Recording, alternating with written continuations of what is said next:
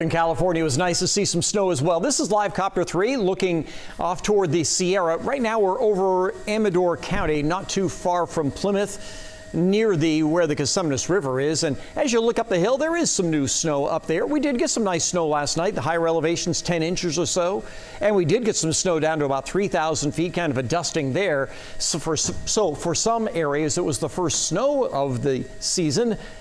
Let's hope there is more in the future. Right now, we still have some clouds in the valley, but they are clearing. The temperature now 54, and we will have mainly clear skies throughout the night.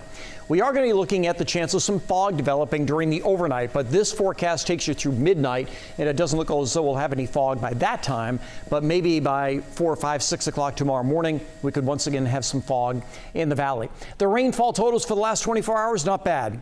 For areas like Sacramento, Stockton, and Modesto, is in the range of about a half an inch. And then you get into the foothills, and most areas were over an inch. Auburn had 1.2, Placerville about 1.1, Jacksonville about 1.5. And these are just representative of the area. I looked for places like Grass Valley, as well as Georgetown and Columbia. They're all in this same range, about 1.2 to 1.3 inches in the foothills. So nice rain.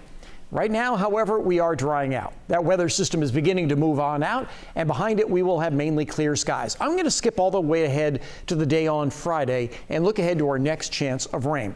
So, this is Friday morning. Once again, probably some fog in the valley, giving way to mostly sunny to partly cloudy skies. We had had a chance of a shower in the forecast for Friday. We had reduced that down to a chance of a sprinkle. Now we've just taken that rain out of the forecast. Friday's going to be a dry day. You can see a few clouds going by, but that's about it. So let's get into the day Saturday. This is Saturday morning at 6:30. We start with increasing clouds, and then this next area of rain will come our way. For the valley, we're not looking at much maybe one or two tenths of an inch of rain that'll go through in the middle part of the day. It's one of those things that'll just kind of zip on by. But for the Sierra, it will be more significant. Once again, we're going to see some pretty good snow. Let me give you the preliminary looks at what we're looking at in terms of snow in the Sierra. And again, this is during the day on Saturday. For the higher elevations, 10 to 14 inches of snow, and once again, maybe 4 to 6 inches of snow down to 4,000 feet, with some snow down to 3,500 feet. Keep in mind, traveling through the Sierra on Saturday will get get back to chain control. So if you saw any of the pictures of the travel in the Sierra last night, just keep that in mind. Chain control, slow travel on Saturday. But for the valley, not much. So tomorrow we have some fog, a few clouds Friday. Saturday's when the valley gets only a little bit of rain.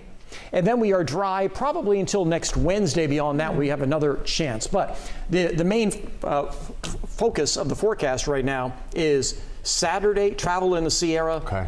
Avoid it if you can. Go Friday early if you can. Mental note. Or go Sunday. Okay. Or Thursday. All right.